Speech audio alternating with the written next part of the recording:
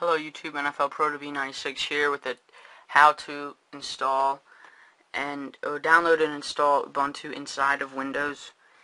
First, um, you're going to go to, to, to get a free download, you're going to go to your web browser.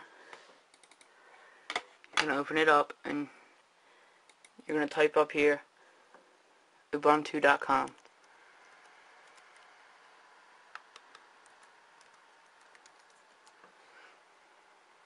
going to let it load up and it's going to come to the Ubuntu home page and you're going to go over here and click on get Ubuntu. And then you can pick which way you want to do it but if you want a CD want to do it onto a CD or USB memory you can you click on this one so it will so you can like transfer it and put it on different computers but I already downloaded it, so I'm not going to do all that junk. And you guys, it's pretty easy to do. But then you get this, and you just left right click on it and burn disk image. And then you put your CD in and burn it to that. And then now, you're to open up your disk drive. Hold on, I need to get the disk out.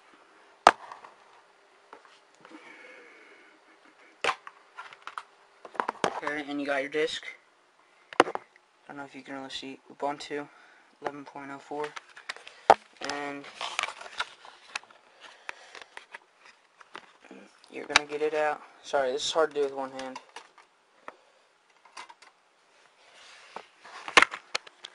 You put in your disk drive. Close it. And then wait for it to load up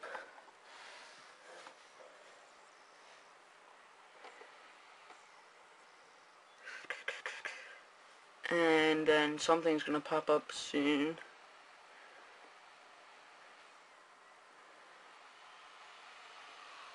Okay here we go. And you're gonna click on run Wubi xee and yes click yes. Let it load up and you can demo and full installation in it and then that'll delete everything on your hard drive. And it'll just put this in unless you somehow like put on like put everything on a recovery disk. You can install it inside Windows or there's a learn more. I'm gonna click on install inside Windows. Okay and then it's gonna start it's, it's gonna bring you to this screen right here. It's gonna say how much you have left how much free space you have on your drive and then it's gonna tell you how much this is. And then it's gonna have your uh, username and you got to type in your password. So I'm to put this down so I can put my password in.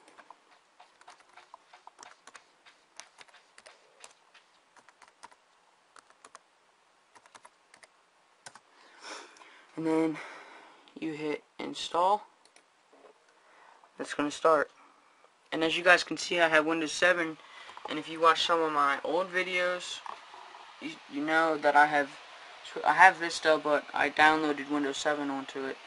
And that's really hard to see. Let us focus. Let's let it focus. Uh, if it does. No, it's not going to. And you just let this load up. And it tells you how much time. It's going to take 2 minutes, 20 seconds. Okay. And you just let that load and I'm going to come back once this is done.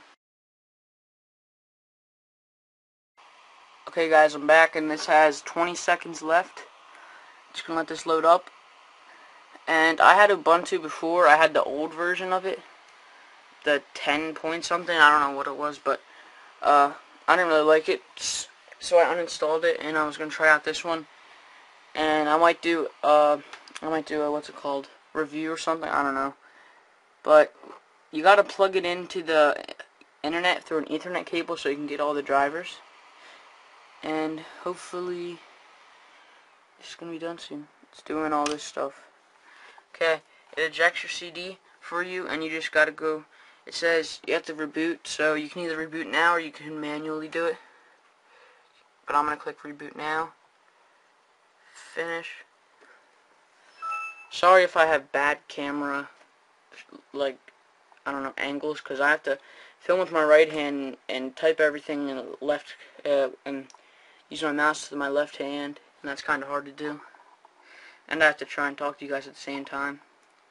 So it's gonna restart your computer and it's gonna bring you to this and you just hit F1 and then it has Windows 7 or Ubuntu. I'll go to Ubuntu show you guys that it works.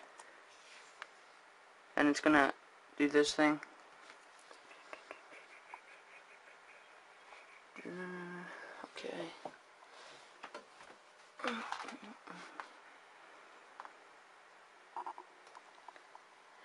Ubuntu and then it's gonna load up everything. And after this it just takes you to the home screen of Ubuntu and just finishes installation. If you guys want to see another video on like how to get the drivers or anything like that leave a comment on what you want to see and give me ideas and subscribe. That would help me out a lot so thanks for watching. Here it's gonna bring you here. I'm gonna end the video now because the rest is easy to do